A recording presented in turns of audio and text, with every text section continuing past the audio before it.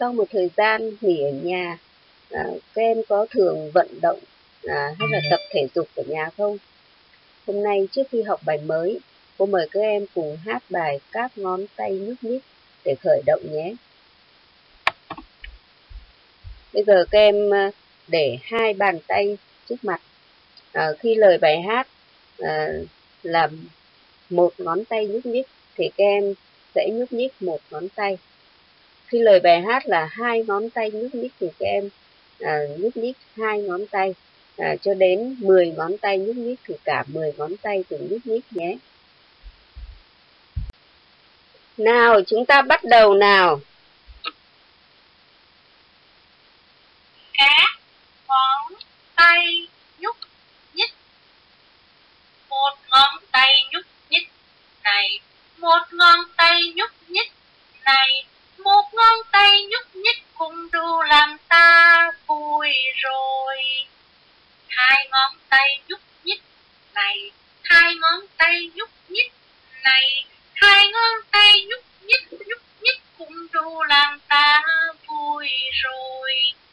Ba ngón tay nhúc nhích này, ba ngón tay nhúc nhích này, ba ngón tay nhúc nhích nhúc nhích cũng đủ làm ta vui rồi. Bốn ngón tay nhúc nhích này, bốn ngón tay nhúc nhích này, bốn ngón tay nhúc nhích nhúc nhích nhúc nhích nhúc nhích. Cũng đủ làm ta vui rồi.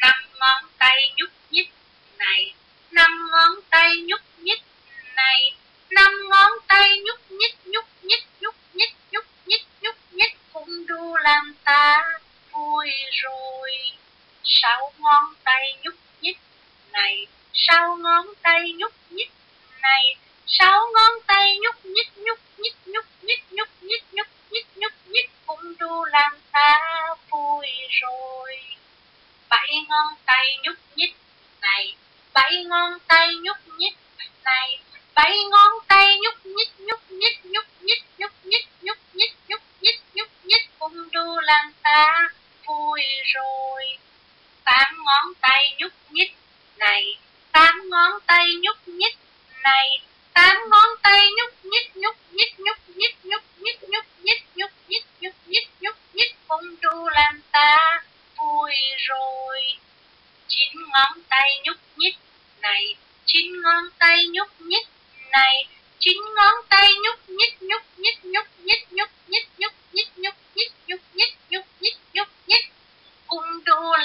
làm vui rồi. Mười ngón tay nhúc nhích này, mười ngón tay nhúc nhích này, mười ngón tay nhúc nhích nhúc nhích nhúc nhích nhúc nhích nhúc nhích nhúc nhích nhúc nhích nhúc nhích nhúc nhích nhúc nhích. Cung đu làm ta vui rồi.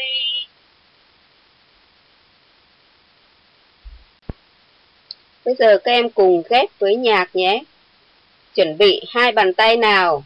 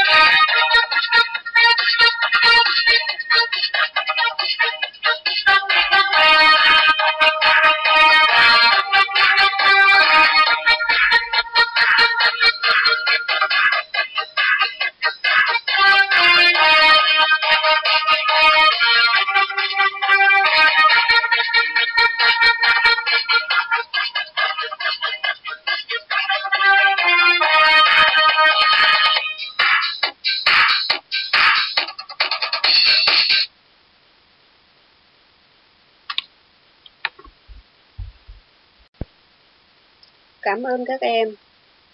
Chúng ta vừa mới trải qua 4 phút để vận động các ngón tay. Các em đã chuẩn bị sách và tập công dân trước mặt cùng với giấy nháp nữa nhé. Các em cầm viết lên và chúng ta bắt đầu bài mới. Đầu tiên, cô giới thiệu với các em chương trình giáo dục công dân lớp 11 gồm hai phần. Phần thứ nhất là công dân với kinh tế, gồm có bài 1 cho đến bài 7. Phần thứ nhất này chúng ta sẽ học trong học kỳ 1. Và phần 2 là công dân với các vấn đề chính trị xã hội, gồm các bài 78 cho đến bài 15. Phần thứ hai này chúng ta sẽ học trong học kỳ 2 của lớp 11.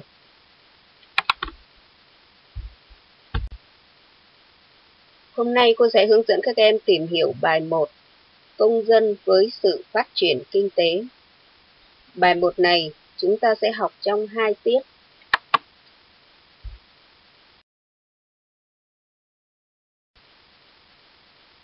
Nội dung bài 1 hôm nay gồm 3 phần.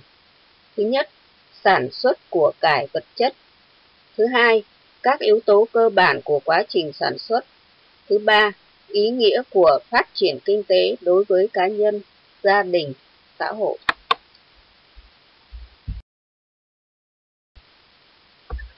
Nội dung thứ nhất, sản xuất của cải vật chất. Vậy thế nào là sản xuất của cải vật chất? Để trả lời câu hỏi này thì chúng ta phải trả lời những cái câu hỏi sau. Con người muốn tồn tại và phát triển thì chúng ta cần phải làm gì? Các em hãy trả lời ra với nhé, trong một phút.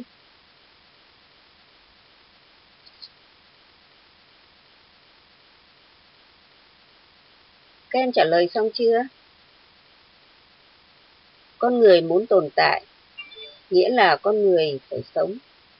Mà con người muốn sống thì phải hít thở khí trời, phải có cái ăn, cái mặc, nơi ở, vân vân. Thế thì không khí có sẵn trong tự nhiên để chúng ta hít thở. Thức ăn đầu tiên thì chúng ta cũng à, khai thác trong tự nhiên bằng cách săn bắt, hái lượm. Hái lượm những cái loại cây, loại rau, loại trái nào chúng ta ăn được và chúng ta lựa chọn cái ngon để ăn rồi chúng ta còn săn bắt các cái uh, loại động vật như là gà heo bò vân vân để chúng ta uh, sống chúng ta tồn tại thế nhưng uh, dân số ngày càng tăng lên và thức ăn trong tự nhiên thì cũng cạn dần và như vậy, để tồn tại được thì con người phải tìm cách để dành thức ăn. Các em có biết con người để dành thức ăn bằng cách nào không? Hãy viết câu trả lời ra giấy nhé.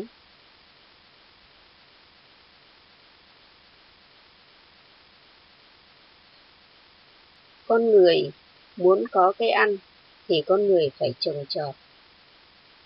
Con người lựa chọn những cái loại cây à, để trồng để à, đảm bảo à, về lương thực thực phẩm à, rồi con người phải à, chăn nuôi à, heo gà vịt cá vân vân.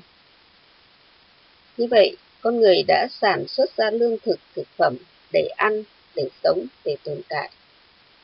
Thế bên cạnh đó à, muốn sống được thì con người còn phải có cái mặc mặc để cho ấm rồi sau này là mặc để cho đẹp. Rồi sau này nữa chúng ta cũng có cái nhu cầu cao hơn mặc à, cho phù hợp với hoàn cảnh để cho thuận lợi à, trong các cái hoạt động sinh hoạt hàng ngày của chúng ta rồi chúng ta cần phải cần có cái nơi ở à, để tránh mưa nắng à, để tránh những cái à, những cái nguy hiểm xung quanh chúng ta à.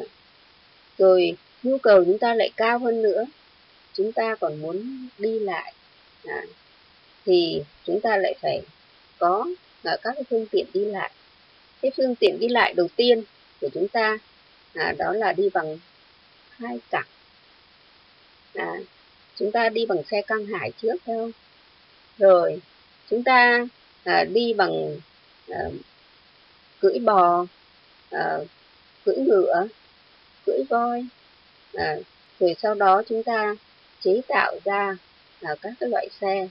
À, ban đầu thì xe đạp bằng chân rồi à, các cái xe máy à, rồi cao hơn nữa à, xe hơi tàu hỏa tàu thủy máy bay vân vân. À, và cái nhu cầu con người ngày càng càng nhiều lên thì con người à, lại phải chế tạo ra sản xuất ra để đáp ứng cái nhu cầu của mình. Như vậy à, thì, thì để sống để tồn tại, phát triển được, thì con người phải sản xuất của cải vật chất Vậy con người sản xuất của cải vật chất bằng cách nào? Bằng cách con người tác động vào tự nhiên để biến đổi ờ, thiên nhiên, tạo ra cái sản sản phẩm để đáp ứng cái nhu cầu của mình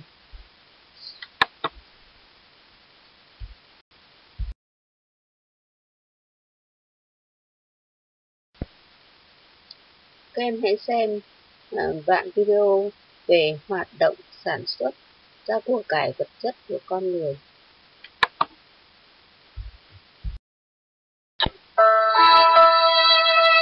Nghề trồng dâu nuôi tầm có hàng nghìn năm tồn tại và phát triển. Nó gắn liền với thời gian, không gian, với các biến cố lịch sử của đất nước và con người Việt Nam. Từ một nghề truyền thống, chủ lực, gắn liền với nghề nông nghiệp lúa nước, nghề trồng dâu nuôi tầm từng mang lại sinh kế ổn định cho nông dân của nhiều vùng miền trong cả nước, đặc biệt là những vùng ven sông Hồng, sông Mã, sông Lam. Từ những năm 2000 trở lại đây, nhiều vùng trồng dâu nuôi tầm tương tơ nổi tiếng, đặc biệt ở phía Bắc như Vĩnh Phúc, Hưng Yên, Nam Định, Hà Nội, Bắc Ninh, Thái Bình đều lần lượt bị xóa sổ, mà căn nguyên là do nền sản xuất thủ công không còn đủ sức mạnh cạnh tranh với sự phát triển rầm rộ của các ngành công nghiệp tơ tằm ở các nước lân cận. Phần do quy hoạch chuyển dịch cơ cấu cây trồng của nhiều địa phương chưa thực sự hiệu quả, phần do biến đổi khí hậu nên nhiều vùng đất không còn phù hợp với cây dâu. Bởi vì cái đầu ra thì nó hạ, còn cái đầu vào thì nó rất là cao nên là cả nàng nó bỏ hết không ai trụ được cái nghề này phải đi chuyển đổi các phía khác để sản xuất để kiếm sống thôi đến độ mấy năm nay cái là tự nhiên nó mai một hết đâm ra là thắm ra bây giờ là để không như thế này những năm 90 của thế kỷ trước, nơi đây từng là vựa sâu tầm của miền Bắc. Nhưng giờ đây, những bãi đất này chỉ còn thưa thớt những vườn sâu kém hiệu quả, hoang vắng như thế này. thời tiết nó, nó, kiểu như, như, như kiểu nó thiên tai nó nó thế nào ấy nó biến đổi khí hậu ấy cho nên là khó nuôi lắm Thời gian qua, do sự cạnh tranh của thị trường tơ thế giới, thu nhập từ nghề này thấp hơn so với mặt bằng chung của các ngành nghề khác. Mặt khác, năng suất chất lượng trồng dâu nuôi tầm còn thấp, khâu chuyển giao công nghệ kỹ thuật chưa được chú trọng nên năng suất dâu kém, tơ thấp, giá thành không ổn định. Công tác quản lý nhà nước về sản xuất, cung ứng giống dâu tầm không chặt chẽ, thiếu những mô hình thâm canh dâu tầm hiệu quả.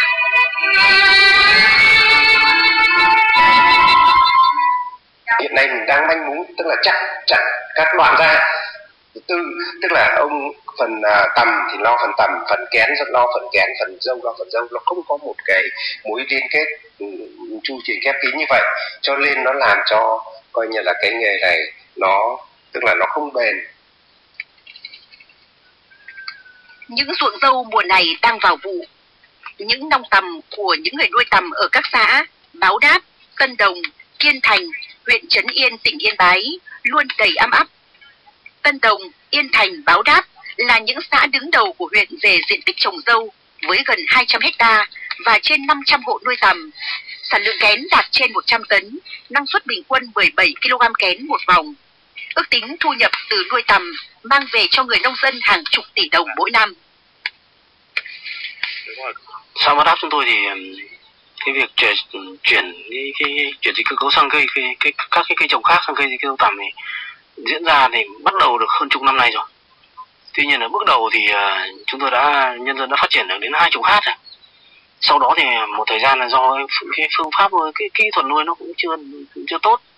Cho nên là nhân dân lại phá bỏ đi. cả xã còn nó ba hát.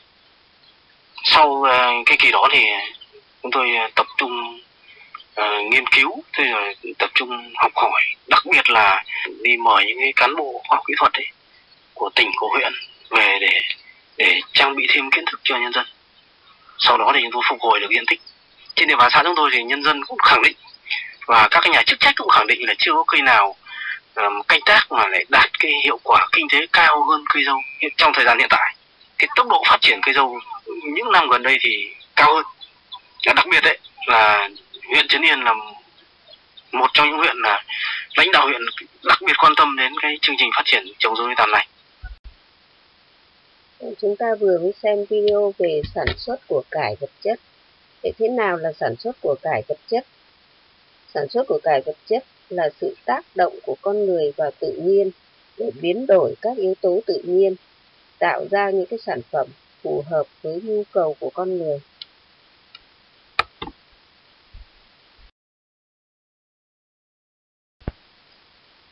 Theo em, sản xuất của cải vật chất có cần thiết không?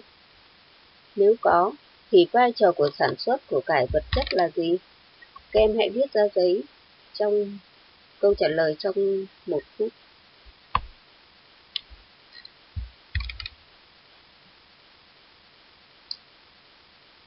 Như trên chúng ta đã chứng minh muốn tồn tại, à, con người muốn tồn tại, xã hội muốn tồn tại thì phải sản xuất của cải vật chất. Như vậy, vai trò đầu tiên của sản xuất của cải vật chất đó là cơ sở tồn tại của xã hội. Nhờ có sản xuất của cải vật chất mà con người tồn tại, xã hội tồn tại. Vai trò thứ hai của sản xuất của cải vật chất đó là nó quyết định mọi hoạt động của xã hội. Phần thứ nhất chúng ta đã chứng minh rồi. Nhưng phần thứ hai à, tại sao chúng ta lại nói sản xuất của cải vật chất có vai trò quyết định mọi hoạt động của xã hội?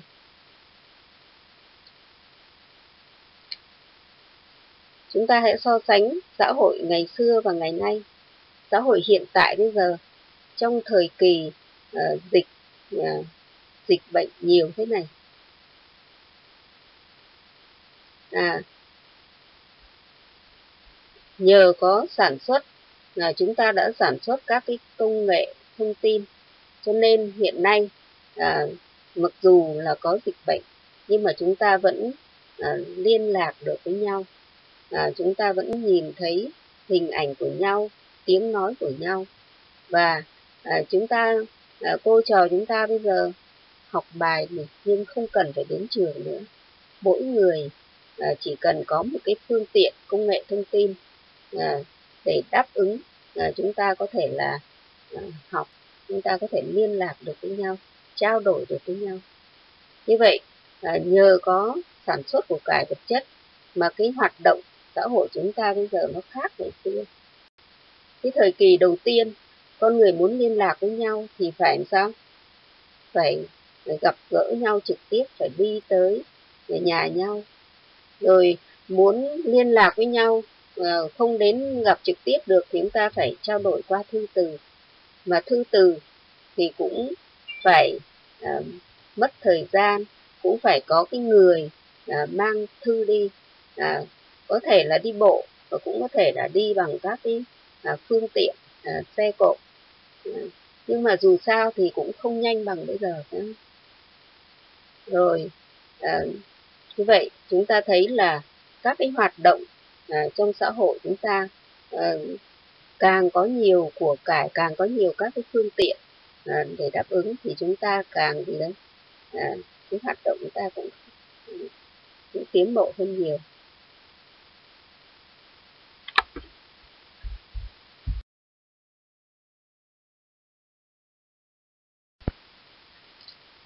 Chúng ta thấy sản xuất của cải vật chất rất quan trọng và không thể thiếu được.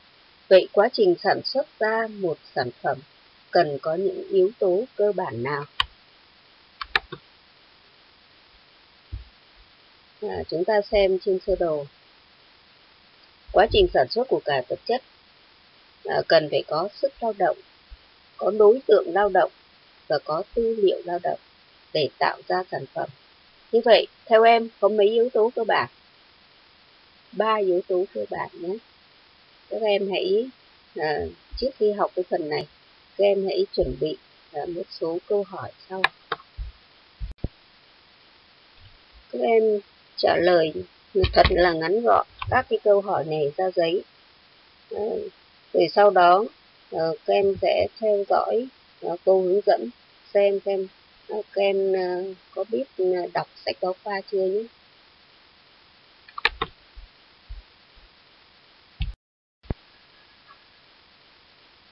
Mọi quá trình sản xuất đều là sự kết hợp của ba yếu tố cơ bản: sức lao động, đối tượng lao động và tư liệu lao động.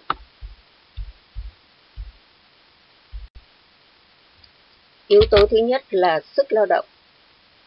Một người muốn tham gia hoạt động lao động sản xuất nhất định phải có sức lao động.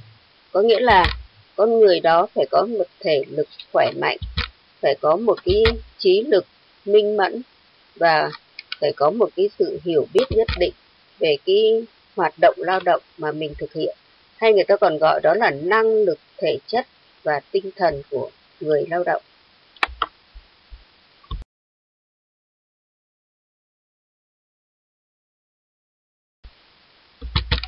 Vậy, sức lao động là toàn bộ năng lực thể chất và tinh thần của con người được vận dụng vào quá trình sản xuất.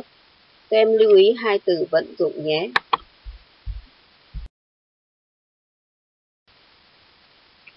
Các em lưu ý, sức lao động khác với lao động. Sức lao động chỉ là khả năng của lao động. Còn lao động là sự tiêu dùng sức lao động trong hiện thực. Có nghĩa là người có sức lao động phải được vận dụng vào quá trình uh, hoạt động sản xuất để tạo ra sản phẩm uh, thì mới gọi là lao động. Thế lao động chính là hoạt động có mục đích, có ý thức của con người để làm biến đổi các yếu tố của tự nhiên, à, tạo ra những cái sản phẩm à, để đáp ứng được cái nhu cầu của con người.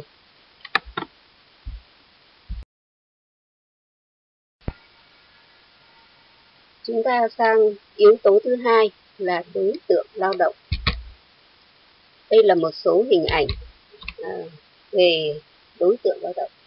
Hình ảnh thứ nhất, những cây gỗ, những cái khúc gỗ này được gọi là đối tượng lao động. Tại sao vậy? Các cái khúc gỗ này là có trong người ta khai thác là trong tự nhiên và những khúc gỗ này ờ, khi mà đưa về ờ, qua tay con người nó có thể trở thành những cái sản phẩm khác nhau. Ví dụ bác cẩm mộc uh, có thể đóng ra những cái bàn cái ghế uh, giường tủ uh, những cái đồ uh, mộc.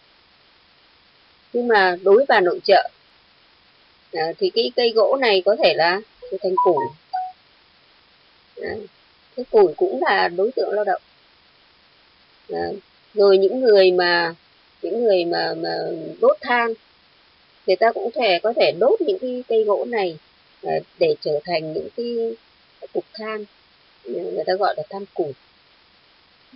Như vậy à, cây gỗ là đối tượng lao động bởi vì con người tác động vào con người sử dụng cái sức lao động của mình tác động vào cái khúc gỗ để tạo ra những cái sản phẩm à, mà phục vụ cho cái mục đích cái nhu cầu à, của cái người đó. Thì khúc gỗ này được gọi là đối tượng lao động. À, cái hình à, những con cá là bơi ở dưới biển. Các em thấy à, cá bơi dưới biển khi mà khai thác về thì những con cá này cũng trở thành những à, cũng trở thành đối tượng lao động thì cũng qua tay ờ, cái người lao động. Những con cá này có thể trở thành những sản phẩm khác nhau. Ví dụ người mà nuôi cá cảnh họ sẽ chọn những cái con cá đẹp để họ nuôi. Nghĩa là họ chăm sóc nó ờ, để làm đẹp trong cuộc sống. Nhưng mà những con cá này mà vào tay bà nội trợ thì để trở thành gì đấy? Những món ăn. À, bà nội trợ đã sử dụng các cái uh, công cụ bếp núc của mình uh, rồi các cái gia vị để biến những con cá thành những món ăn ngon. Uh, cá chiên rồi uh, cá nấu canh uh, vân vân. Cá kho. Nhưng mà cũng uh, nếu những cái con cá này uh, vào tay những con người khác họ có thể là ừ, biến nó thành những cái tác phẩm nghệ thuật để trang trí à, vân vân. Như vậy cũng là con cá nhưng mà thông qua những người lao động khác nhau thì con cá này trở thành cái đối tượng lao động mà con người sử dụng sức lao động của mình tác động vào nó để biến nó thành cái sản phẩm phục vụ à, cái mục đích của mình phục vụ cái nhu cầu của mình. Và con cá này là nó cũng có nguồn gốc từ tự nhiên. Cây gỗ cũng có nguồn gốc từ tự nhiên. Như vậy à, khúc gỗ cây cá con cá đó là, là đối tượng lao động có trong tự nhiên. Cái hình thứ ba là có hai cô gái đang lắp xe đạp. Thế thì theo em cái gì là đối tượng lao động? Em thử viết ra giấy xem.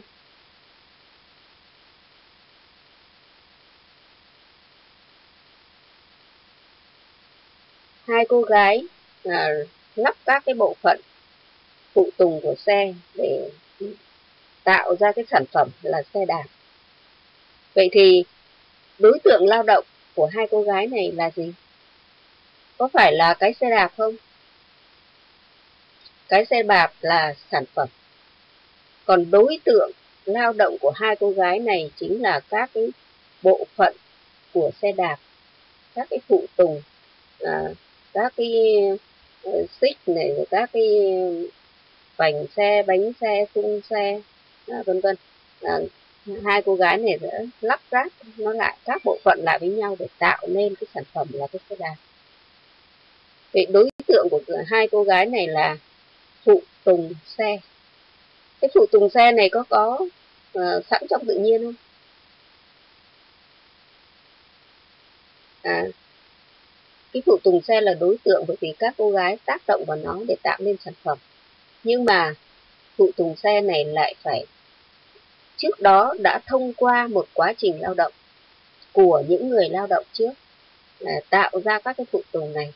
Như vậy à, phụ tùng xe này cũng là đối tượng lao động nhưng mà đối tượng lao động này không có sẵn cho tự nhiên. À, nó được tạo ra à, qua một cái quá trình lao động trước đó. À, thì cũng gọi là đối tượng lao động.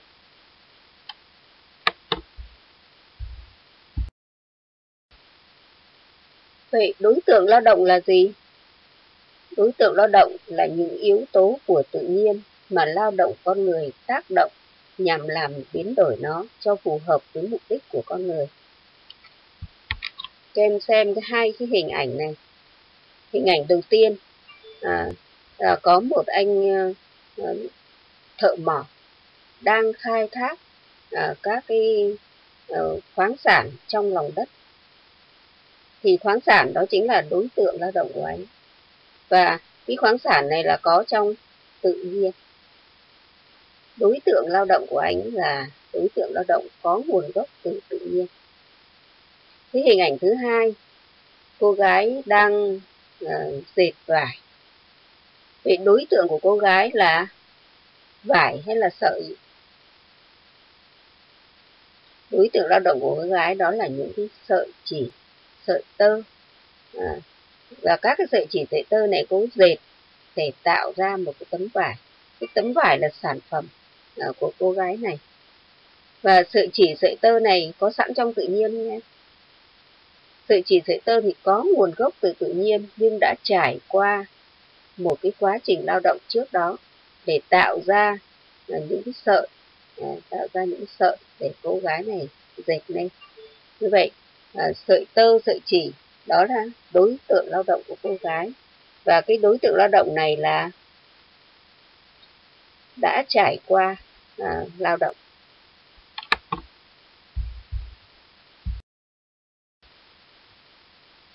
Vậy theo em đối tượng lao động có mấy loại? À, đối tượng lao động có hai loại. À, hai loại này đều có nguồn gốc từ tự nhiên nhưng một loại là nó có sẵn trong tự nhiên. Còn một loại là nó đã à, trải qua cái quá trình à, lao động của con người.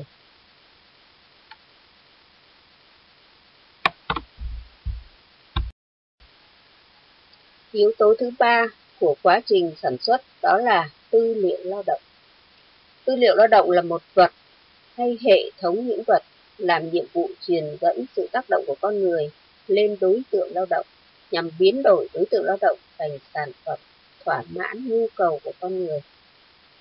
Tôi lấy ví dụ, người thợ mộc, tư liệu lao động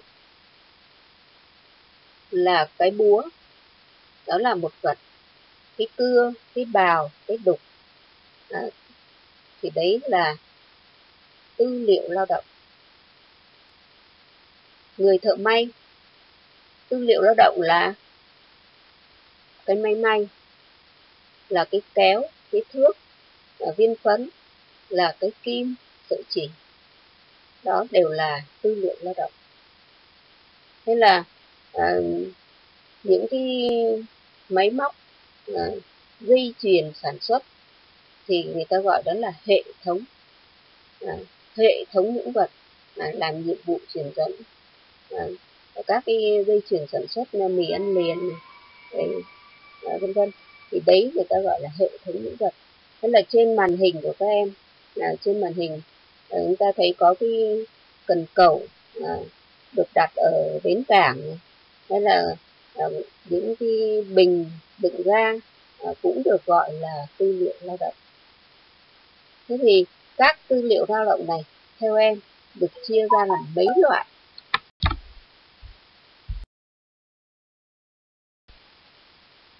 tư liệu lao động được chia làm ba loại. Đó là công cụ lao động, hay còn gọi là công cụ sản xuất. Thứ thứ hai là hệ thống bình chứa của sản xuất. Và thứ ba là kết cấu hạ tầng của sản xuất. Bây giờ cô lấy một ví dụ à, để các em à, hiểu kỹ hơn. Người thợ may, công cụ lao động là máy may là cái kim là cái kéo là cái thước để đo to đo vải và cái thước để kẻ để vẽ. Cái đấy được gọi là công cụ lao động. Còn đối với người thợ may hệ thống bình chứa là gì? Hệ thống bình chứa là những cái hộp để đựng kim chỉ. Cái hộp đó được gọi là hệ thống bình chứa. Hay là cái cái nhà xưởng người ví dụ là may ờ, may công nghiệp ấy, à, thì người ta phải có nhà xưởng để chứa đựng à, máy may này. À, rồi chứa đựng các cái sản phẩm à, làm ra chứa đựng các cái nguyên vật liệu. Thế thì nhà kho nhà xưởng đó chính là hệ thống bình chứa.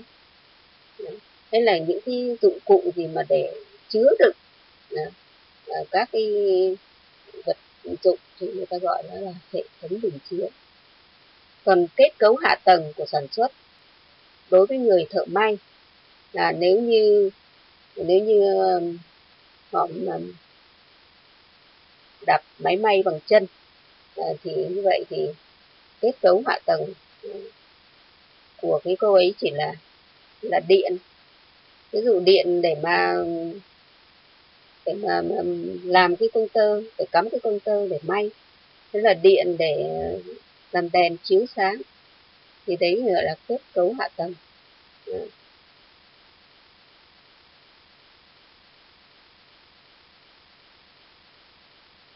Đấy, các em có thể là à, các em có phân biệt được à, ba cái loại của tư liệu lao động.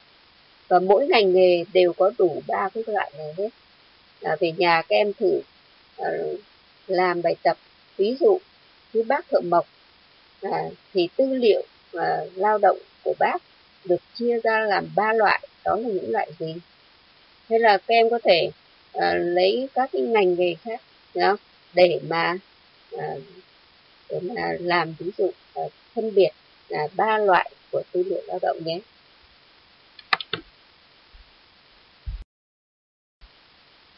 đây là một số ví dụ về công cụ lao động hay là công cụ sản xuất của một số ngành nghề. Ở đây chúng ta thấy có cái máy may à, có cái lưỡi à, lưỡi của cái máy cày, máy bừa, để có cái xe để mà ủi đất à, vân vân.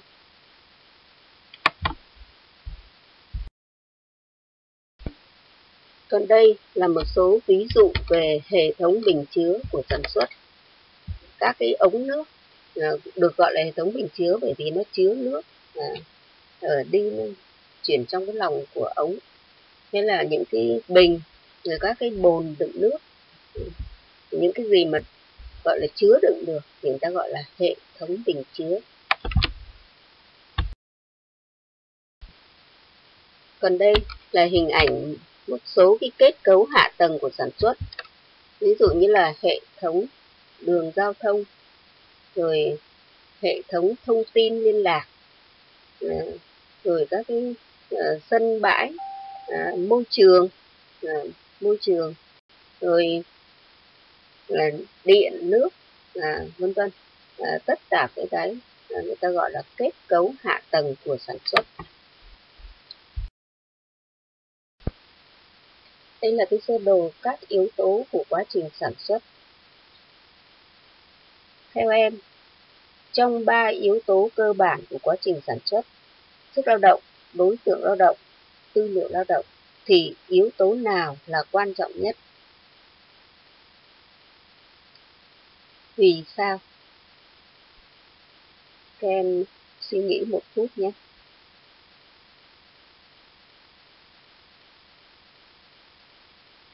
Ba yếu tố cơ bản của quá trình sản xuất thì yếu tố nào cũng quan trọng. Nhưng yếu tố sức lao động là quan trọng nhất vì sức lao động tìm ra đối tượng lao động.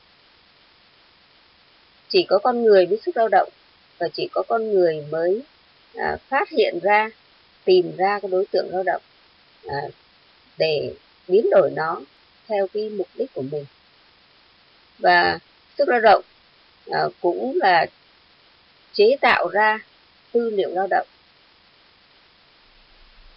Và cũng chính sức lao động lại biết sử dụng tư liệu lao động để tác động vào đối tượng lao động tạo ra sản phẩm phục vụ cái nhu cầu của chính mình.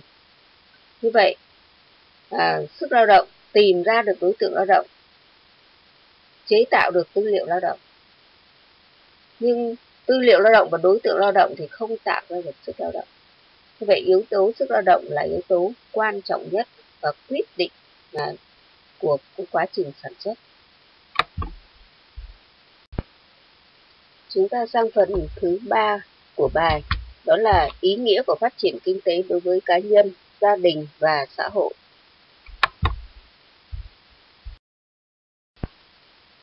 Đối với cá nhân, phát triển kinh tế tạo điều kiện cho mỗi con người có được việc làm và có thu nhập ổn định có cuộc sống ấm no và có điều kiện để chăm sóc về sức khỏe, nâng cao về tuổi thọ à, đáp ứng được các cái nhu cầu vật chất và tinh thần, các cái điều kiện để được học tập, để được vui chơi, giải trí à, tham gia các hoạt động xã hội và con người được phát triển toàn diện.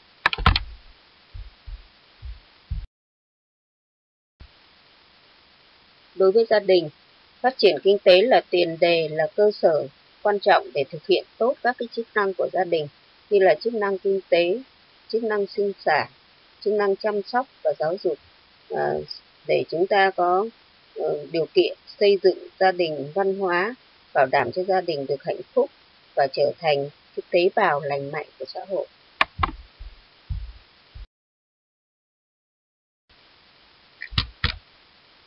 Đối với xã hội phát triển kinh tế làm tăng thu nhập quốc dân phát triển kinh tế sẽ tạo điều kiện để giải quyết công ăn việc làm cho người lao động.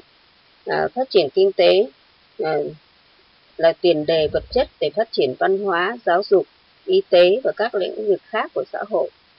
Phát triển kinh tế à, cũng sẽ tạo điều kiện vật chất để củng cố về quốc phòng, an ninh, để giữ ừ, vững cái chế độ chính trị.